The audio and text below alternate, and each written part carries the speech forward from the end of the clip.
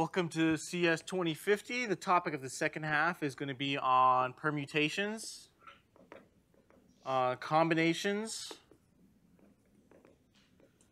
and uh, the binomial theorem. Uh, so you guys perhaps colloquially may know what a permutation or a combination is. You guys know what a factorial is?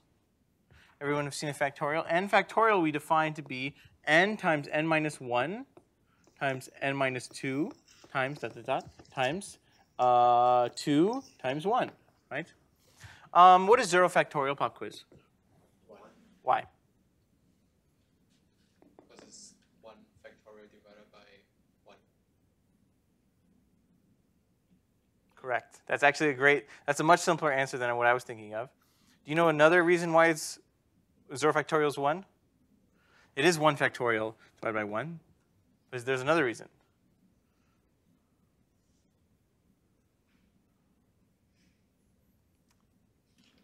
Anyway, when I was in calculus, I learned that the, the generalization of the factorial is the gamma function, right? You guys maybe vaguely remember seeing that some other place. The gamma function at 0 is 1. For it to be a sufficient generalization, that, it makes sense. We, we will need this fact that 0 factorial is 1 a lot of times because we'll have base cases of things, right? Um, so n factorial is a really powerful tool, and today we'll talk about its relevance with uh, permutations. n factorial is itself just an interesting number, but it's also the number of ways to put something in uh, what's called a permutation. And a permutation you can think of as an ordering of something. So if you have have n items, uh, there are how many ways to put them, as in arrange them in sequence.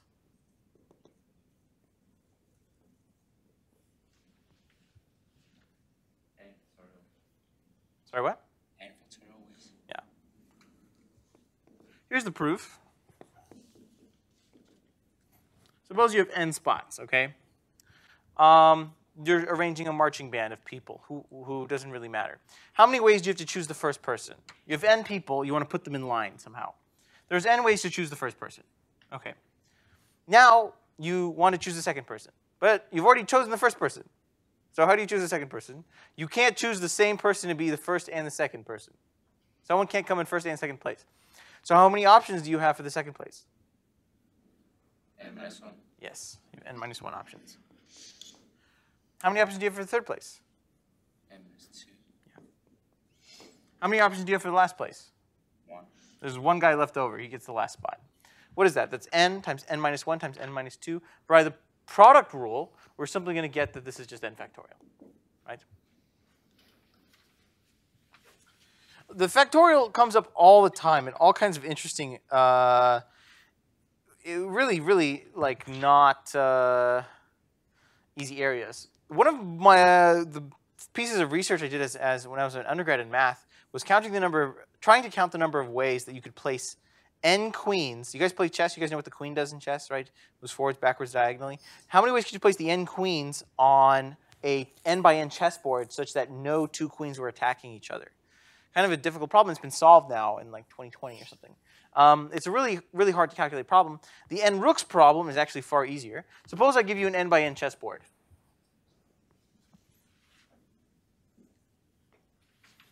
Right? And we want to place n rooks. You guys know what the rook does?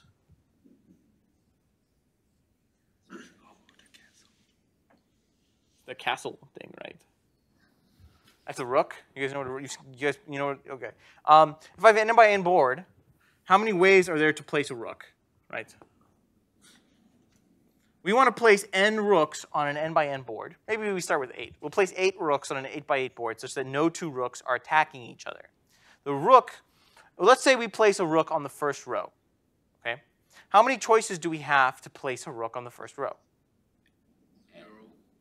N. There's n ways. You could pick here, you could pick here, you could pick here, you could pick here, and so on. There are n ways. Now, when you place a rook, it's going to cancel out the entire row. And it's going to also cancel out the entire column, right? So consider you want to place another rook on the next row. How many ways are there to place a rook on the next row? Sorry? Two ways to place a rook on the next row? n square minus 2n plus 1. Uh, consider just the second row. Seven. N- Seven, n Well- n minus one. If we were working in n minus one, you can choose anywhere on the row except directly under the previous rook. So that's n minus one choices. Say I put him here. Okay? He's going to cancel out this whole row and also this column. By the product rule, we have at least have n times n minus one number of ways.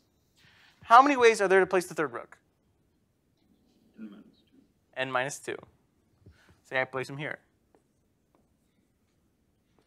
Cancels out that whole row and whole column. How many ways are there to place n rooks on an n by n board such that no two rooks are attacking each other? Factorial. n factorial ways.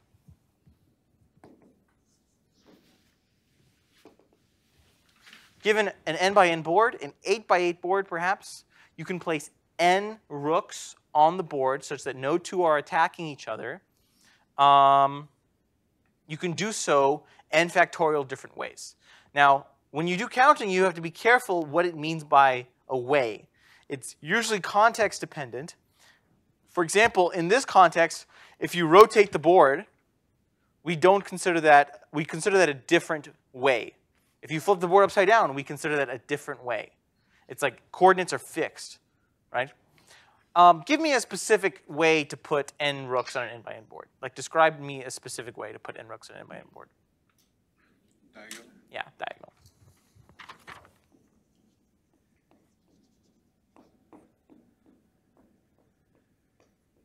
They're not attacking each other, right? Rooks can't attack on diagonals. So.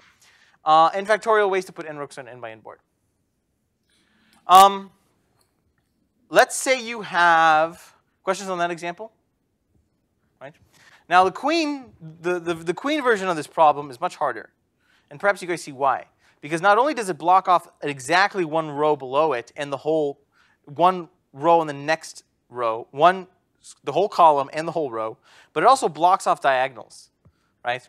But what if it's on the edge? It doesn't exactly block off two diagonals. It blocks off one or two diagonals, right? So it's, it's a very complicated problem. I think it's only been manually, manually computed up to like n equals 26 or something. We still don't know like large n, what this number is. Uh, right. So let's suppose you don't want to, now this is called a permutation. A permutation is when you put items in order. You have n items, you put them in some ordering. You arrange them in a line in some way. We call that a permutation. What, if, what we call is an R permutation, uh, an R permutation is given uh, n items, how many ways to put R of them in order. So we don't want to put all n of them in order. We only want to choose R of them and put those R in order. Okay? How many ways can we do that? Well, we want to, only want to arrange R of the items. Okay?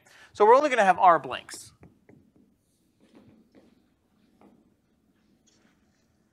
How many ways are there to choose the first item?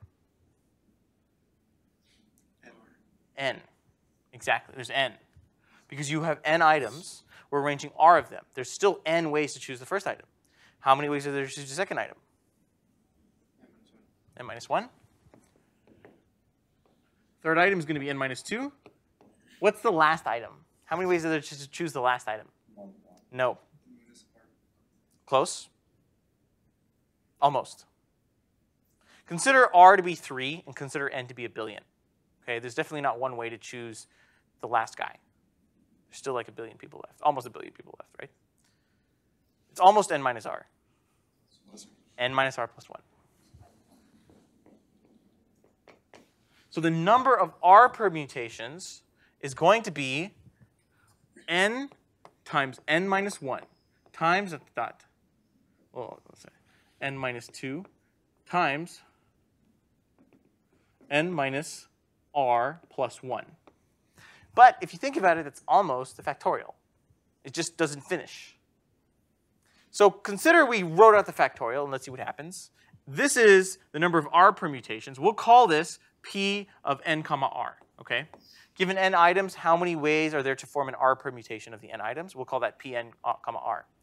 Consider the difference between that and n factorial. n factorial is going to be n times n minus 1 times n minus 2, dot, dot, n minus r plus 1. But then it's going to keep going. It's going to be what comes next, n minus r, right? n minus r minus 1, 1, right? What is this? R factorial. r factorial? minus r factorial. n minus r factorial. Right? So in fact, the difference between p and r, the number of r permutations of an n element set, and the difference between n factorial is simply multiplication by this n minus r factorial. So in fact, we can derive a better form of pn comma r as what? What is pn comma r equal to then in terms of n factorial? N factorial over n minus r factorial. Yes.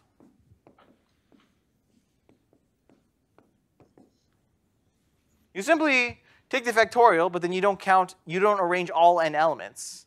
You just don't arrange the last n minus r of the elements. So then you divide by n minus r factorial, right? Um, one of those things that, again, this formula is pretty easy to memorize. If you, you, you'll, you'll look at a problem and you'll be like, okay, I'm arranging elements or order matters or order doesn't matter or something like this. Some rule, product rule. Here, specifically, the elements are in order. That does matter. The, there's a distinction made between the first and the second and the seventh item in the list. And I'm only arranging R of them, right? Pop quiz, what is, what should P of n comma n be?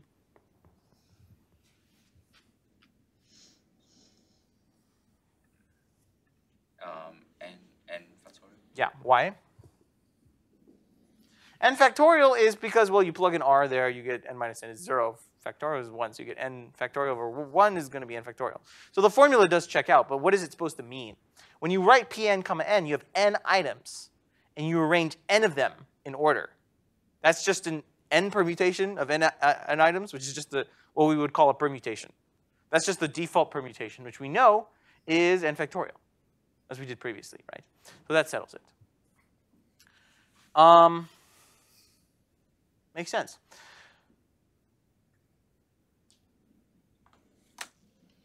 Any questions on the uh, R permutation before we do a quick example?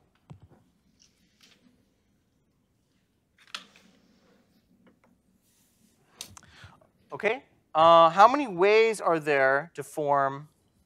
Let's consider that you have the letters A, B, C, D, E, F, G. Okay. Uh, yeah. Let's say you have. Uh, let's give it some more letters. H. Let's say you have these letters. How many ways are there to are there to arrange these letters in order? In a, how many strings can you make with these letters? One, two, three, four, five, six, seven, eight. There's eight factorial. There's eight letters. So you can. There's eight factorial ways to do it. Again, eight ways to choose the first letter, seven ways to choose the second letter, six ways to choose the th- third letter, and so on. So there's eight factorial ways to do it. How many ways are there to do it, uh, such that A, B, and C are next to each other?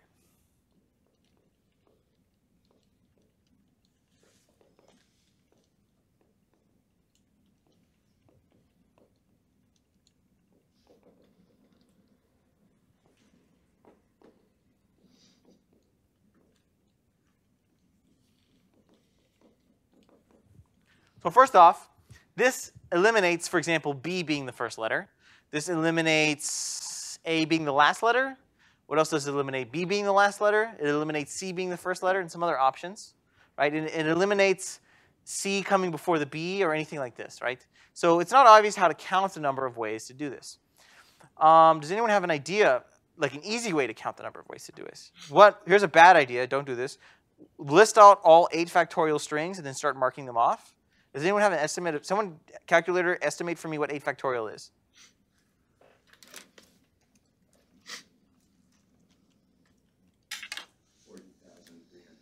I'm not writing down 40,000 things on the board. That's a bad way to do it. The computer could do it for you. Actually, that's not too bad, right? You write a for loop and just say if it does if it has ABC as a substring, great, you know.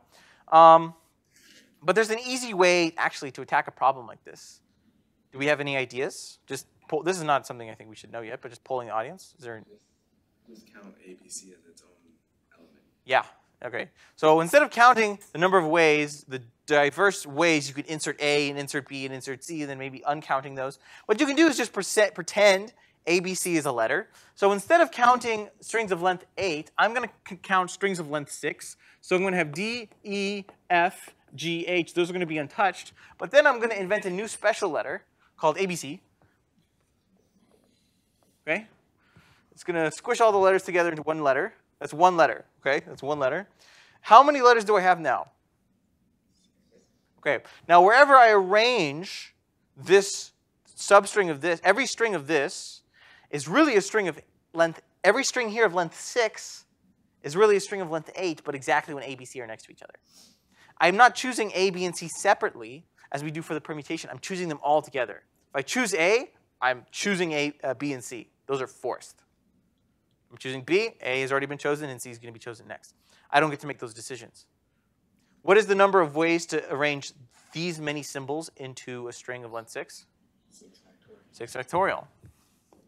Here's where the combinatorial proof kind of gets like, where's the actual bijection? What are you writing down? I claim that the number of ways to arrange A, B, C, D, E, F, G, H such that A, B, C are adjacent is equivalent to the number of ways of arranging A, B, C, D, E, F, G, H, where A, B, C is one letter.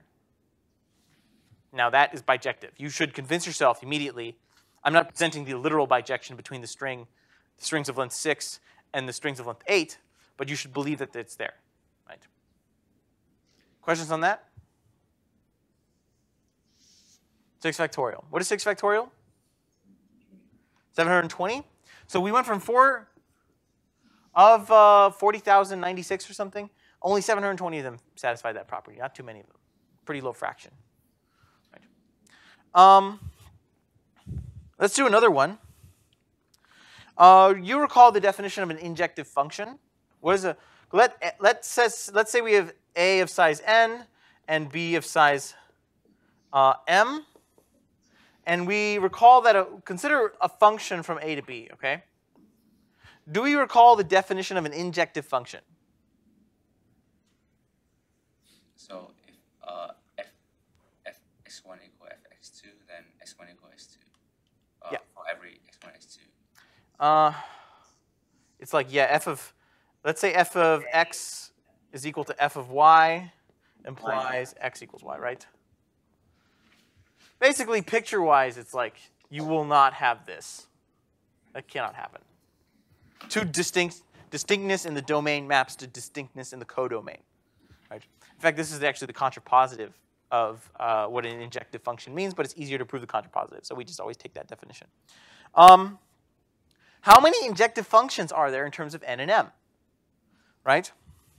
We want to count the number of ways that we can compute an injective function. Suppose that we have m greater than n. Let me make sure I got these, these letters exact. Give me just a second. Let's not count, let's swap these. So we want an injective function from an m element set to an n element set.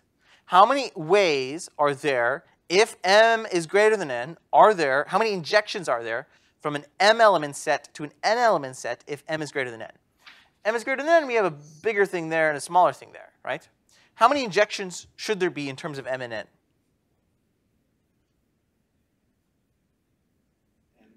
PMN. Mm, no and no. If we assume m is greater than n, injectivity is important for us here. We can consider the number of functions in general, but let's suppose we're considering uh, injective functions.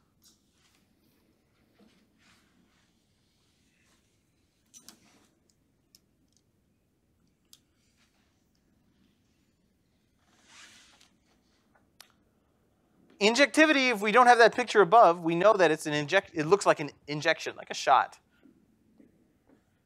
But we ran out of things. Where does that map to? That must map to something here, and therefore not be injective, right? So the answer, if m is greater than n, we have zero. There are zero injections if m is greater than n, right? So that may not be too surprising, but suppose then that n is less than equal to m. No.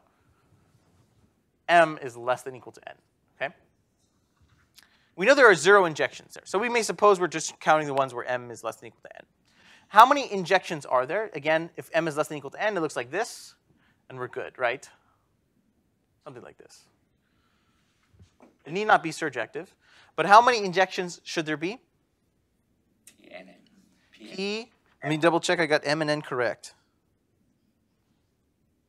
So the first item in, this is, let's say, let's work it out a little bit. Let's say A is equal to its size M. So we have A1 to AM, right? B has N elements, so we'll call it B1 to the Bn, right? F of A1 has N choices, right? F of A2 has, if it's injective, it cannot map to the same choice that A1 mapped to, right? We cannot have it mapping to the same one. So there are n minus 1 choices, right? We product those together by the product rule, we're going to get uh, n times n minus 1 times n minus 2 times dot dot dot. The mth item can choose how many items of B. N minus M. M, let me double check. I have n minus m plus 1, I think. Is that correct? Double check me on this, please. That's, as you said, is going to be p uh, right? N M.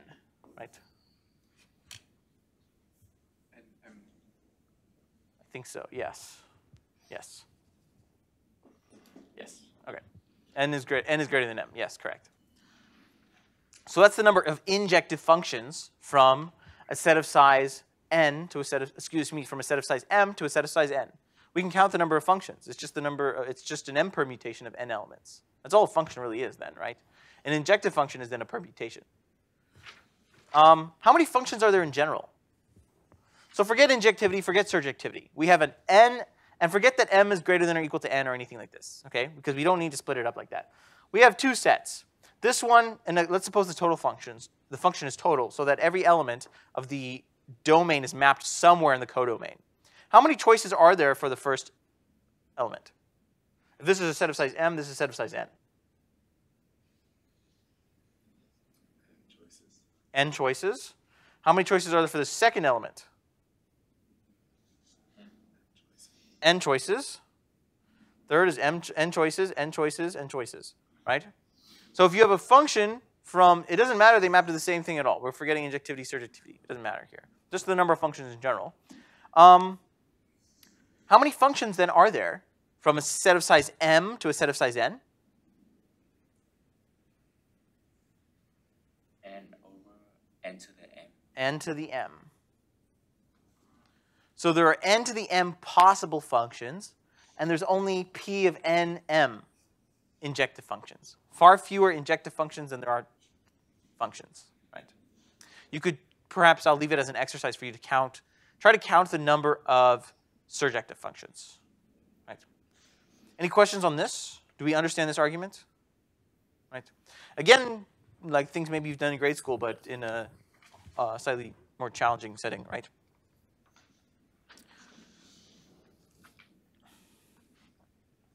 Suppose we want to count the number of uh, ways, like a permutation, to order things, but we don't want to care about order, right? So that doesn't really, I guess, make sense. Why would we want to count the order of something without ordering it?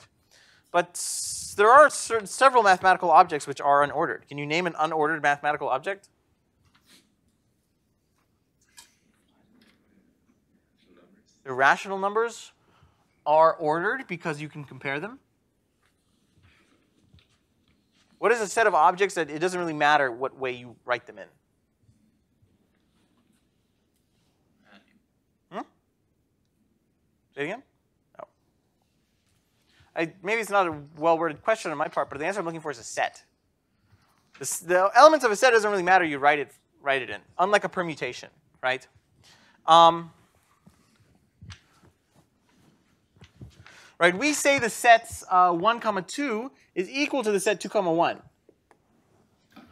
As sets, those are equal, but as permutations, two one is not equal to one two, right? Per, if you order the elements, if order matters, then these two are not equal. If order doesn't matter, then these are equal, right? So we want to count the number of ways to choose k elements from n elements. If you have, let's say you have n elements, let's write this, we'll write this like this. It's called a binomial coefficient. You may have, have you guys seen this choose operation somewhere? Yeah. n choose k. Uh, this is said as n choose k. It's like equal to the number of ways to choose a k element subset of uh, from n elements.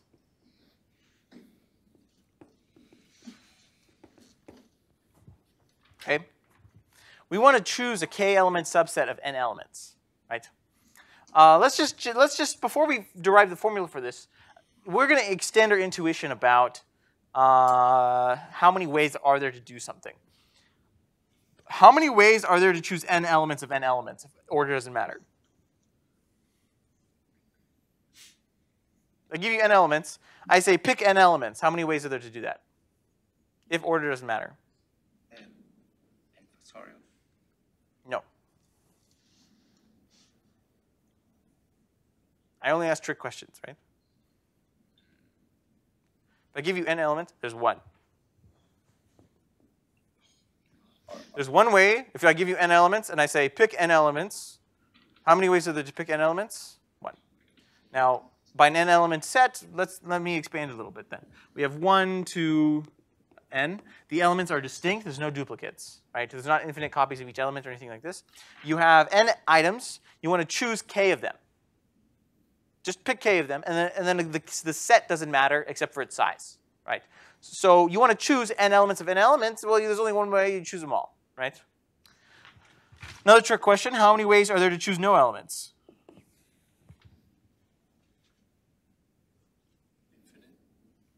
If I give you n elements and I say pick none of them, how many ways can you do that? One. One. This is almost philosophical. There is one way to do nothing. That's still a, that's still a way. Okay? How many ways if I say if I give you n items, I say pick one.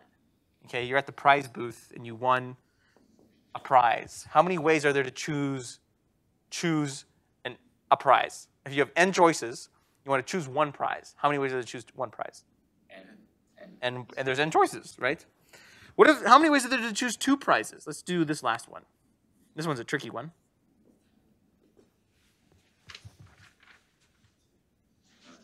N minus one. Or n times n minus one. Almost. Plus one. No, no, it is n times n minus one, but there's one thing missing.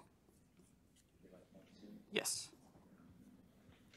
n times n minus one over two. Choose the first item. It's the same as the Gauss double sum thing that we did, right? Um, it's n choose two. Right. So let's try to think about the relationship between a permutation and this is called a combination.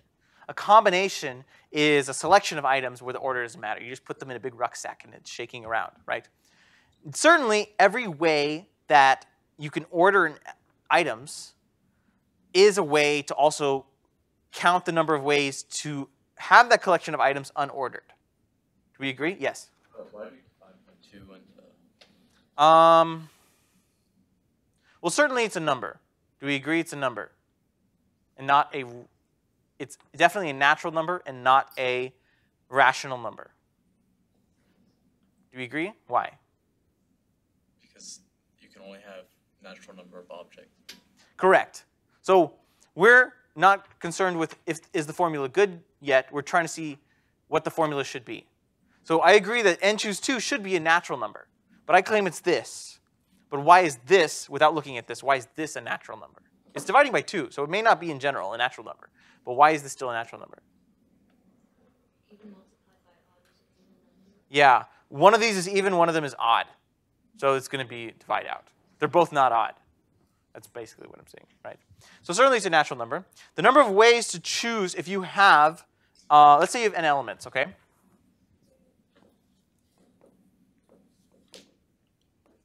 And you're choosing the num, you're counting the number of subsets of size two. A subset of size two includes one comma two, includes I don't know seven comma twelve. Does not include something like seven comma seven, right? How many choices do you have for the first object? N. How many choices do you have for the second object? n minus 1. But this is not not equal, so it, it is equal to the number of ways to do it in reverse. So you accidentally double counted. So you divide by 2. Interesting here, n times n minus 1 is almost something that we know. We just overcounted by twice, right? So in fact, there is a relationship between the number of ways to order something, to count the orderings of something, and the number of ways to count that same thing but forgetting the order. We divided by 2 here because we overcounted, right? But suppose we divided by, what would be if we were counting the number of subsets of size 3? We would count the ordered ones, and then we would divide by what? 3? So how many ways are there to arrange three elements? 1, comma 2, comma 3. How many ways are there, there to put three elements in order? 6, 6. Say 3 factorial, right? What I'm saying here is, and what is the number of ways to order three elements?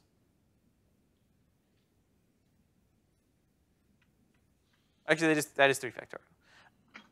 Given n elements, how many three element orderings are there?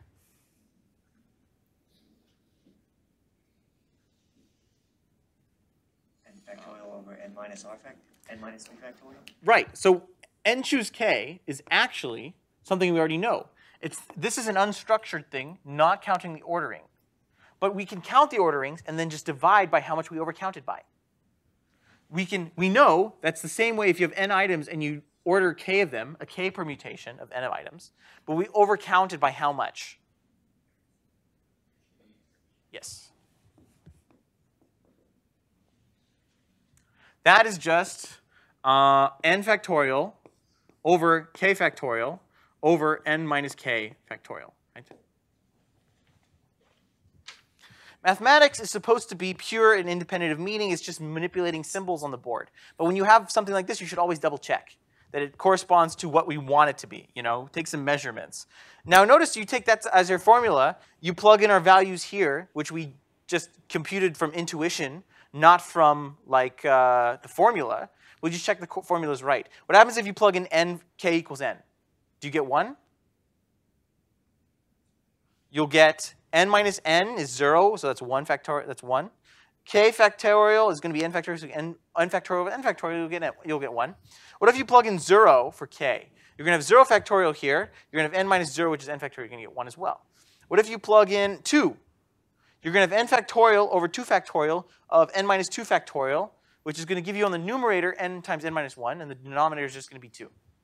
Right? So you plug in these values, you get the same thing. So this is this appears on the surface to be the correct formula, right?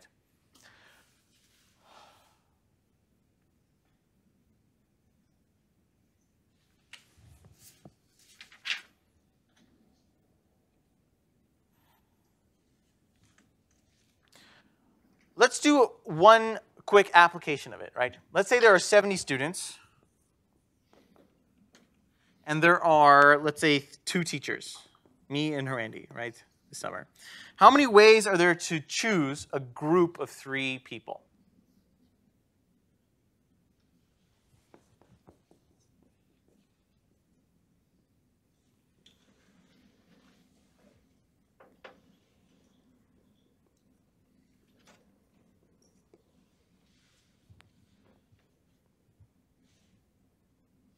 Twenty choose wait, twenty-two choose three. So, sorry, one more time. Twenty-two choose three. 22? 70? 72? Um, it's uh, it's n k with n equal to seventy and uh seventy two and k equal to three. Exactly. You have 72 people, and you're going to choose three of them. That, I worked it out, I think. I have 59,640. Big number.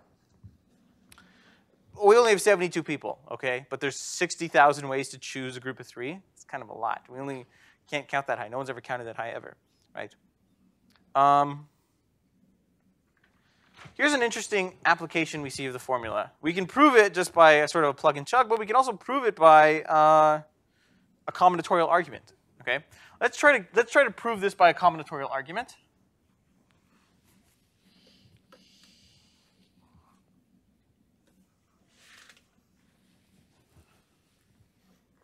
Uh, n choose k, I claim is equal to n choose n minus k.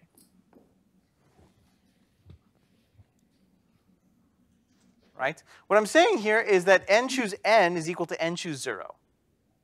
n choose 1 is equal to n choose n minus 1. n choose 2 is equal to n choose n minus 2, and so on, right? Why is this true? Well, first off, you could just go plug and chug it. That's on, uh, I mean, that's like, uh, boring, I guess, right? Plug in a, replace every instance of k with n minus k. This is going to be n, if you replug every instance with k, you're going to get, um, again, the formula of n choose k is going to be equal to n factorial over k factorial over n minus k factorial, right? And then n minus, n choose n minus k is going to be equal to n factorial over n minus k factorial over n minus n minus k factorial? What is n minus n minus k factorial? K factorial. Yeah, so that's just going to be, in a boring way, we just like plugged and chugged it. and We got the same answer, right? But there's, the point of this is like combinatorial proofs, right? Give me an explanation for that. Explain that to me. By counting, like the number of ways to do something is the number of ways to do something else. What's a good explanation for that? Things have reasons, you know.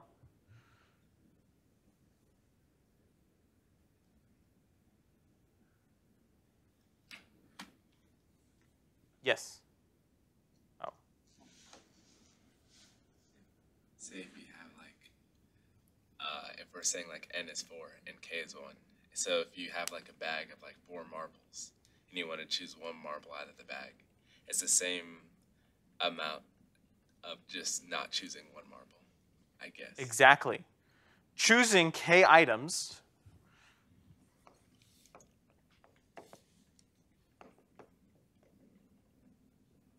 is the same as not choosing k from n. No, not choosing n minus k from n. If you have n items, you pick three. The distinction between choosing and not choosing doesn't really matter. When you say, I, I'm going to pick those three marbles, what you're also saying equivalently and exactly is that I'm not choosing these n minus 3 marbles.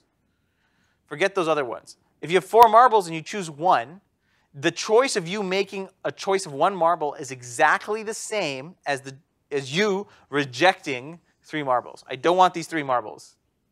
That's you choosing three marbles, right? So we see choosing one marble is equal to not choosing three marbles. That's the combinatorial proof, QED, right? You, maybe you can see you should develop a skill of the combinatorial proof argument.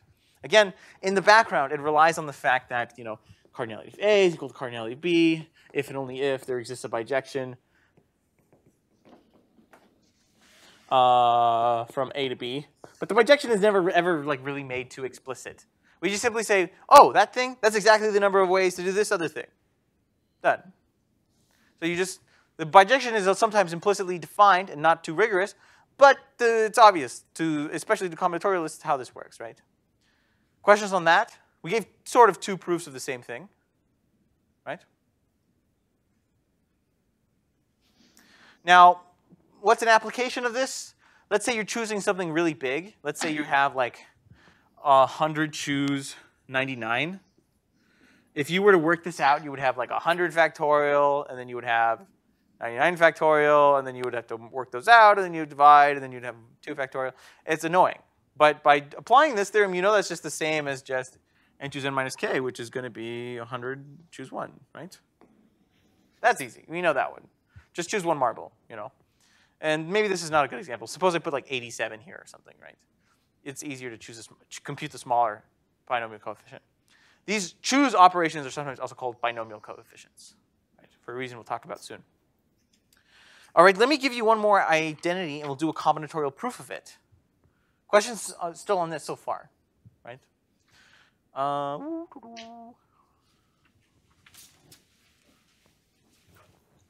yes.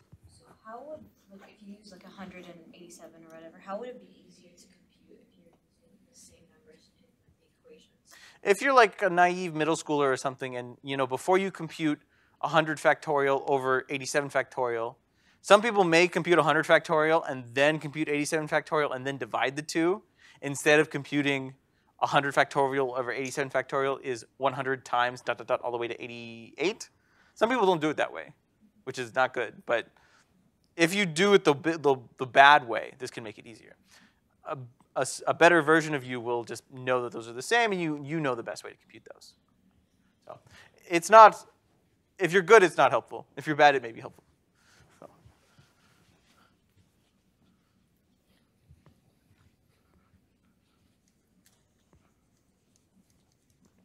Sometimes in proofs, I I suppose it could also be helpful.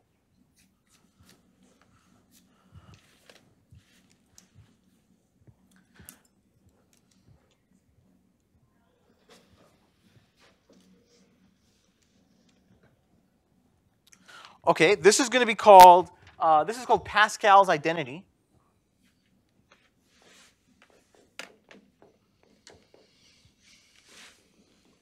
It's that uh, n choose k is actually equal to n minus 1 choose k uh, plus uh, n minus 1 choose k minus 1. Okay? Now, how would you prove that? Bad way to work it out, convert every n choose k into n factorial over n minus k factorial, divide by k factorial, and then you like distribute, you undistribute, you move stuff around, it's ugly. Maybe you could do it with some product rule stuff. We can actually give, I'm, arithmetic always will work, okay? But combinatorial proof is really powerful. So I'm trying to do, without filling up the whole board full of divisions and multiplications, we can argue this uh, combinatorially. What we're going to do is instead of proving this, we're going to prove something similar. We're going to prove n plus 1 choose k is equal to n choose k plus uh, n choose k minus 1. Let me double check I have this exact. Yes. Do you agree those are the same? All I did is I'm just going to prove it for the case of n plus 1. Same stuff. For any numbers n and k, right? Um, combinatorial proof. What is a set of n plus 1? So n plus, n, n plus 1 choose k. Let's call this that you have n students and one teacher. n plus 1 choose k is the number of ways to form a group of k, a set of k people, a set of k from n students and one teacher, okay?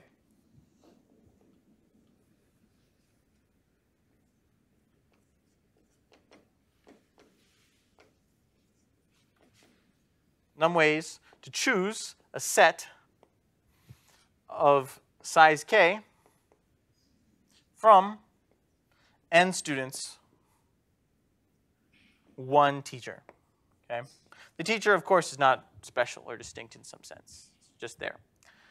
Um, but the, suppose we're now counting the number of ways to choose a set of size k from n students and one teacher. By the sum rule, we know that this is actually equal to something else. This is equal to the number of ways to choose k people, not including k students, including teacher, uh, plus k minus 1 students, including teacher.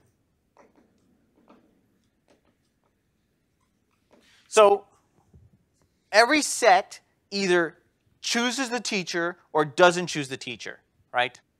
Everyone, every single group that's possible to make as a combination contains the teacher or it doesn't contain the teacher. Those are the only two possibilities. If it doesn't contain the teacher, let's suppose it does contain the teacher first. If it does contain the teacher, you have put the teacher into the chosen set, right? So you can choose k minus 1 remaining spots in the set. But because there's only one teacher, the k minus 1 spots have to be filled by only the students. There's only n students to choose from. You've only chosen one teacher. So this is n students to choose from, right? This is the number of ways to choose a set if you choose the teacher, and you have k minus 1 additional ways to choose students. Right? Now let's suppose, okay, you chose the teacher, but you have to count by the sum rule, choosing the teacher or not choosing the teacher. Those are the only two options. So consider that you sum the number of ways to not choose the teacher. If you don't choose the teacher, you only choose, you have k spots left in the set to choose, right? But how many people can you choose from? You will not choose the teacher. So it's not n plus 1. It's from the additional n students. So it's going to be n here. QED. Sum rule, we break it up choosing teacher or not choosing teacher. Uh, this is the number of ways to choose the teacher, number of ways to not choose the teacher. This is the number of ways in general to choose, given n plus 1, peop- one, n plus 1 people, choose k of them. Yes? So it's then k minus one because you subtract a student and then add it. Ah, this one, you have, suppose you have a bust of k people, but forget that it's ordered, okay? You have k spots. This corresponds to choosing the teacher. This corresponds to not choosing the teacher. If you've chosen the teacher, the teacher walks onto the bus and he sits down. You have k minus 1 spots left. So that has to be filled from the students. You don't have a choice of the other k, but one element has already been determined. k minus 1 remaining. This one, you say, I don't choose the teacher. You kick him out of the class, and you have k spots left on the bus, and there's n students left. So you say, n students go into the bus, whatever, right? And choose okay. Pascal's identity. Also, perhaps useful in proofs. Um, maybe not. Who knows? Questions on this one? Counting is very interesting because I mean, you know, first you know, haha, look, we're putting little, how many flowers are on a petal or something, and suddenly we, we're like uh, thrown into uh, such abstract concepts of, of choices, making choices or not making choices, right? Combinatorics really is, it becomes a science quite fast, right? Questions on this?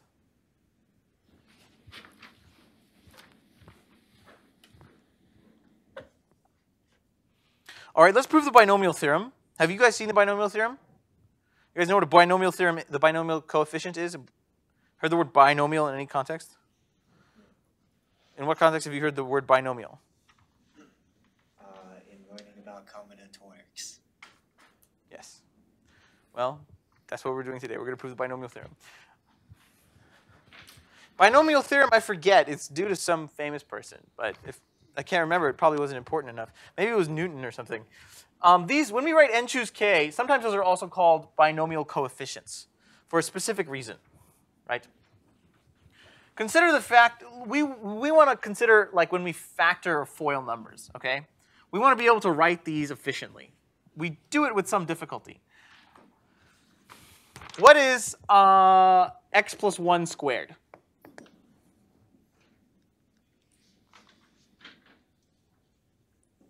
X X squared squared plus plus one. x plus 1. 2x plus 1. Who said x plus 1? I am.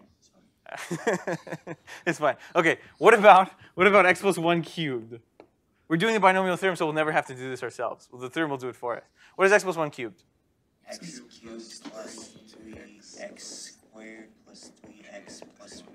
Okay. Uh, right, I don't think anyone would get this one, x plus 1 to the fourth. You shouldn't memorize this one. If you've memorized this one, you already know the binomial theorem.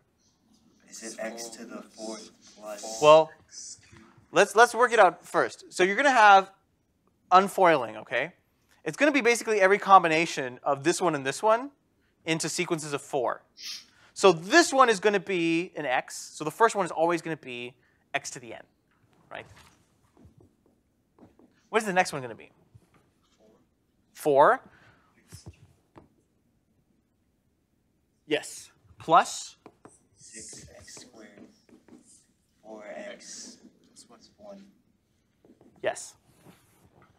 Here's one way to think about this. We write x plus 1 to the fourth. We're giving x plus 1, x plus 1, x plus 1, x plus 1, right?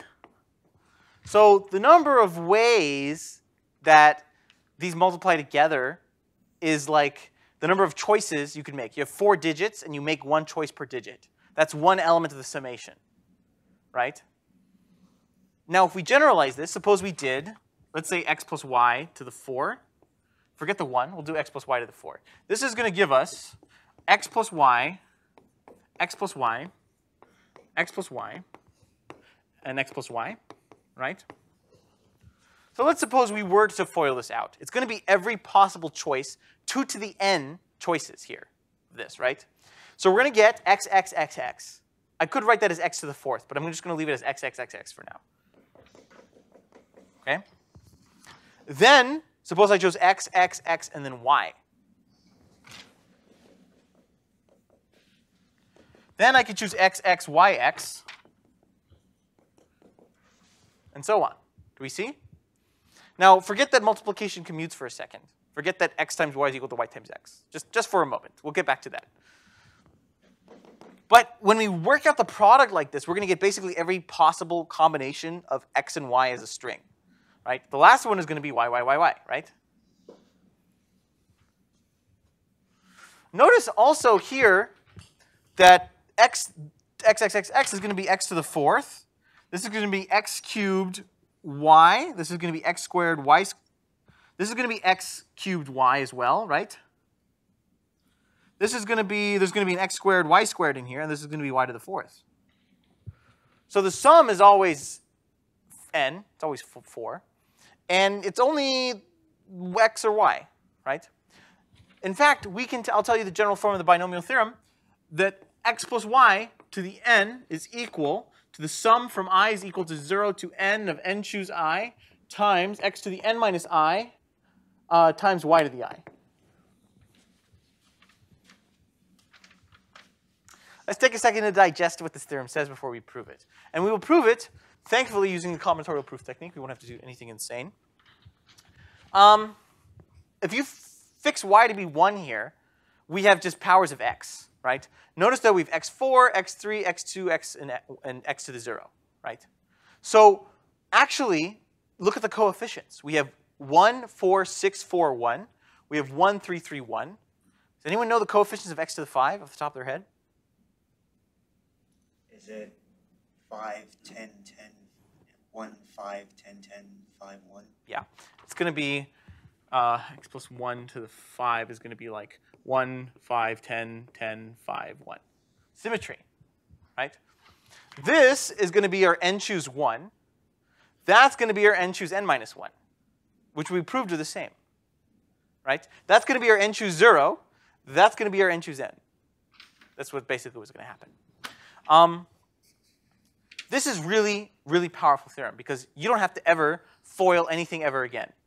If you say, oh man, I have x to the billion, I'm going to write it, write it out that way. If you have x to the billion and you say you mod by 3 or something, you can compute this very easily because you know the factorials greater than 3 all have are divisible by 3, right? So you can compute x to the billion, x plus y to the billion, mod 3 to be very, very, very quickly, right? Things like this. Binomial theorem is very powerful, very, very powerful tool.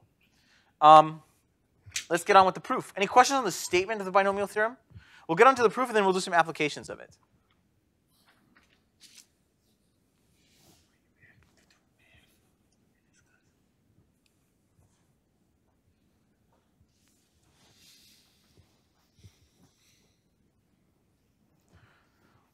So uh, consider x plus y to the n.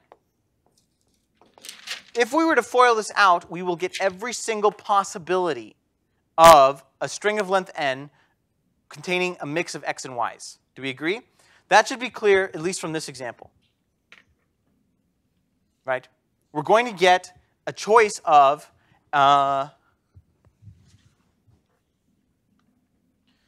for the we're going to get a choice of x times y or x times y or x times y or excuse me a choice of x or y to multiply into it, a choice of x or y to multiply into it, a choice of x or y to multiply into it, a choice of x or y to multiply into it. So in fact, how many strings of any number of x's and any number of y's of length n are there?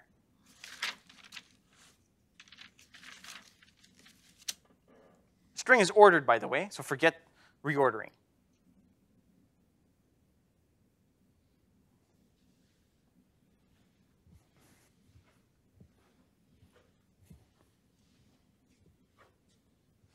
What the, the length of what? N. Suppose we have a string of length n. It only contains two symbols, x or y. How many possible strings of length n are there? Of only x, symbols x and y? Two to that. 2 to the n. This is equal to 2 to the n products of uh, x and y. Why is it 2 to the n? Well, x and y don't matter. I mean, that's the same thing as 0 and 1. There are two choices for the first one, two choices for the second one, two choices for the third one. x and y or x and y and x and y, right? So, but a lot of them are the same. So we already know that of these 2 to the n, a lot of them are can be summed together.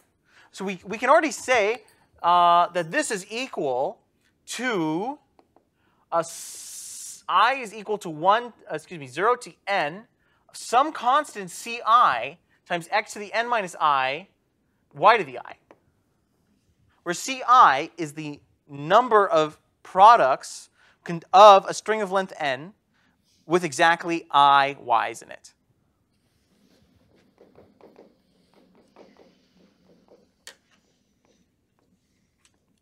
of n uh, things, exactly i of them are y, and the remaining and uh, n minus i are x.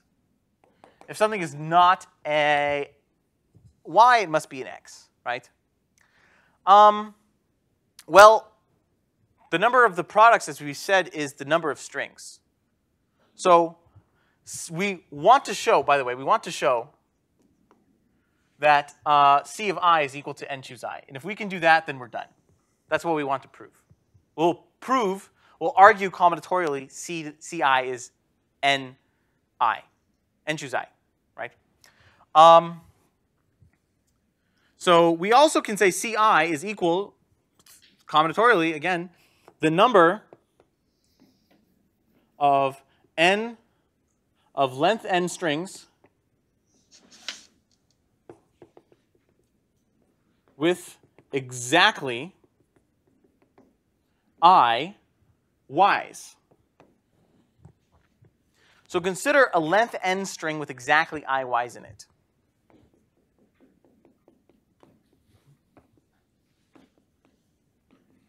Something like this. Let's say we only have two y's in a length n string. Okay? We want to count the number of ways that you can have a length n string with i y's in it. What is this? 1, 2, 3, 4, 5, 6, 7, 8, 9, 10. Okay?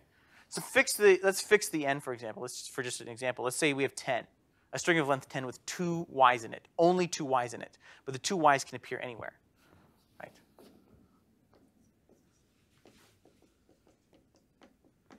This is valid, right? Something like this. How many ways are there to put two y's into a string of length n? This is a kind of a difficult question. If we can answer this, we'll finish the proof. Give me a bijection between the number of strings to do this and something else that we know. And then we can count that something else easier. n minus i. A bijection between what and what? Because the number of two y's is the same as the number of That is exactly true. Unfortunately, it doesn't help us with the proof, but that is exactly why the product here is symmetrical. When we, when we work out the theorem, that's exactly why the 4 is the 4, the 6 is in the middle, the 1 is the 1, the 5 is the 5, and the 10 is the 10 is exactly why that's true. But it doesn't help us prove this. It is true that we could choose the y's or choose the x's, and or or choose or not choose the we could choose the y's or not choose the x's. You know what I'm saying, right? But it doesn't help us exactly count it. Here's sort of the, the, the, the kick I'm looking for. When you have a, string like this, you really just need to describe the location of the y's. right? So if this is, let's say, 1, 2, 3, 4, 5, 6, 7, 8, 9, 10, the number of ways to count the number of strings that have i y's in them is the number of ways to count an i-sized subset from n elements. This is the, the whole thing. This string bijectively can correspond to the set containing 6 and 9. Right? I'll put a little arrow here. For each string like that, there's a set like that. This string corresponds to the set containing 1 comma 2, right? So Ci is equal to, we want, again, the number of strings of length n with exactly i y's in them. It's exactly equal to the number of ways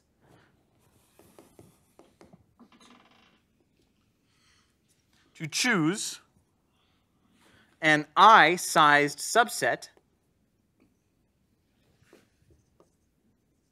from n elements. Now, the elements here are the indices in the string. You are looking at the positions in the string and you're choosing i spots.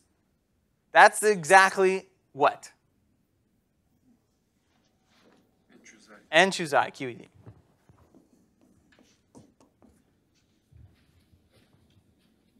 That, I think, is probably the hardest combinatorial argument you see.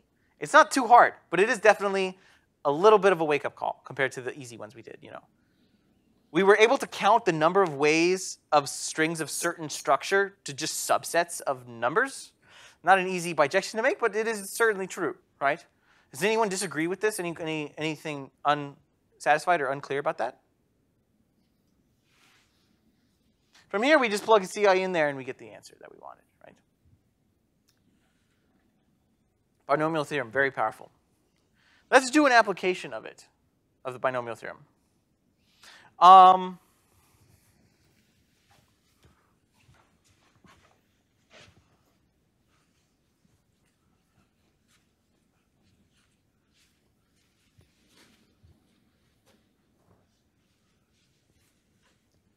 uh, if A is finite, uh, what is the cardinality of the power set of A?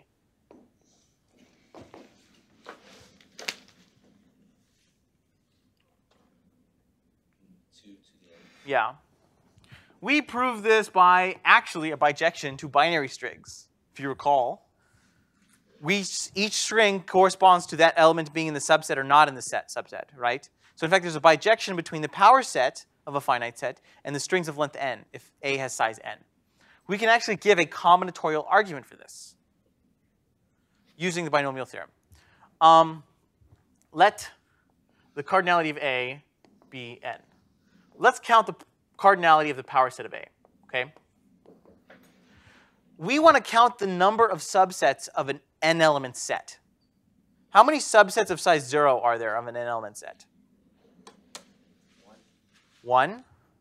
How many subsets of size 2 are there of an n element set?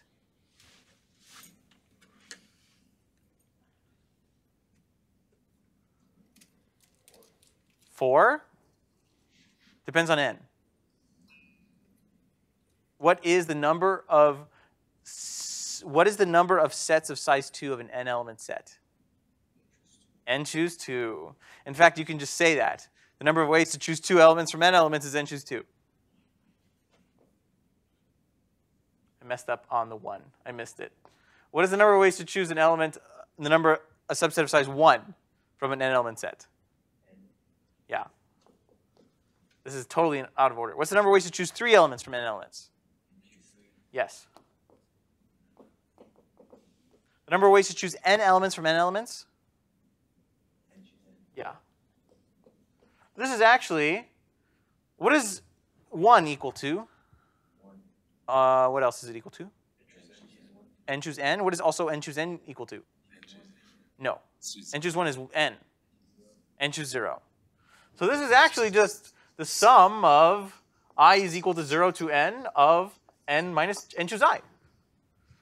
Combinatorially, this is the number of subsets of size 3, number of subsets of size 4, number of subsets of size 5, number of subsets of size n. So the number of possible subsets is the sum of the choices of the size of the subsets, right? But this is actually just equal then to the sum of i is equal to 0 of n, n to the i, times 1 to the n minus i times 1 to the i. Because 1 to anything is 1. What is this equal to by the binomial theorem?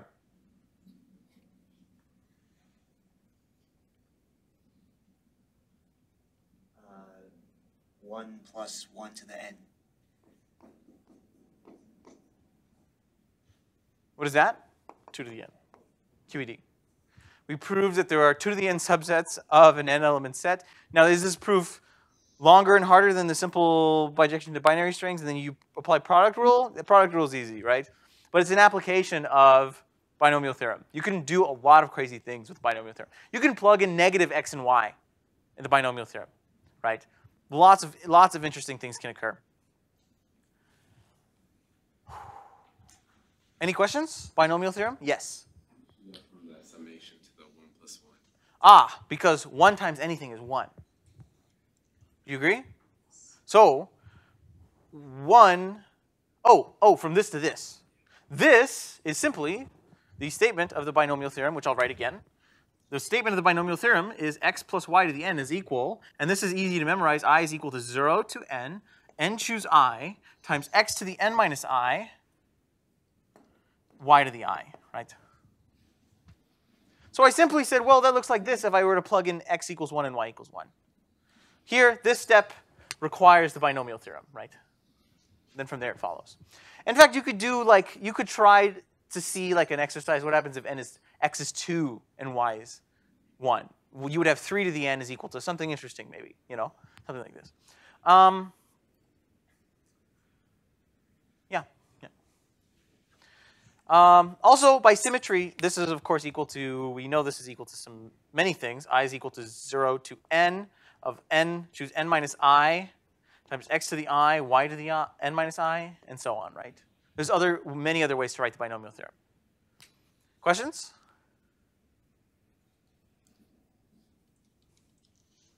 All right, you guys have a great 4th of July.